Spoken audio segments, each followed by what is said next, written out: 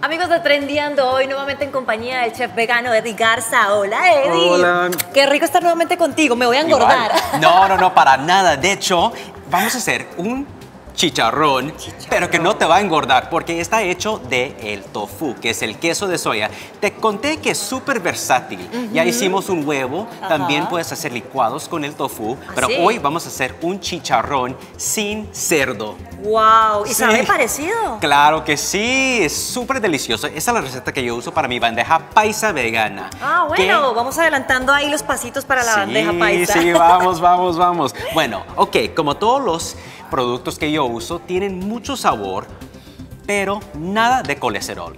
Salud y sabor, ¿no? Ok, eso es el mundo ideal para las mujeres Eso. y para los hombres que ahora también les gusta cuidarse. Claro que sí. Bueno, ¿comenzamos? Claro que sí. Ok, perfecto. Bueno, vamos a comenzar con salsa de soya que le da el sabor de carne a cualquier cosa que le agregues. También un poquito de vinagre de vino rojo. Vinagre de vino rojo.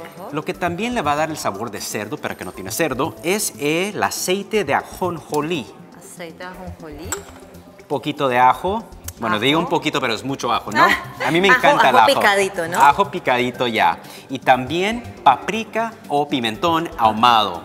Esto le va a dar un sabor espectacular. A ver, un olorcito. Ay, sí, como, como a barbecue, como Así. ahumadito. Delicioso. Deli. Ahora aquí lo vamos a mezclar un poquito. Y vamos a marinar los pedacitos de tofu que ya están aquí cortaditos. Lo vamos a marinar por unos 60 minutos o hasta 4 horas. Wow. O sea, esta receta es ideal que la empiecen a hacer con mucho tiempo. Claro, claro Y que entre sí. más tiempo me imagino que, que, que coge más saborcito Sí, también. sí. Se impregna mucho más ese. Eso. Ok. Entonces vamos a esperar una hora a que esté súper marinado nuestro chicharrón de Perfecto. tofu. Bueno, ya esperamos una hora a que se marinara el tofu en la salsa que hicimos previamente. Y bueno, queda así rojito, coge el sabor como si fuera Sí. carnecita y todo. Ahora lo vamos a cocinar en una plancha durante unos 5 a 10 minutos en cada lado, dependiendo en qué textura le te gusta. Claro. A mí me gusta un poquito crujiente. Entonces por eso lo dejas más Sí, tiempo. exacto. Quiero decirles que esto huele delicioso. Me huele como, no sé, como a costillitas barbecue. Ajá. Todo el sabor, No. uff, una delicia. Una delicia. Y tan fácil de hacer también. Y con la salsa que queda, aquí la voy a agregar.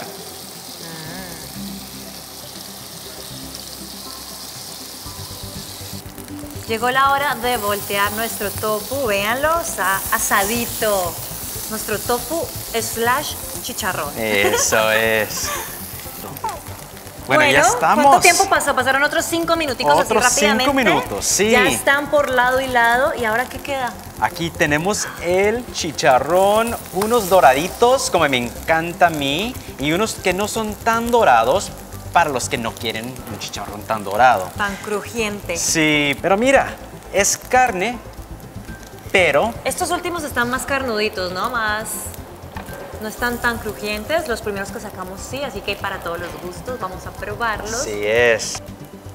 Ajá. Chicharrón.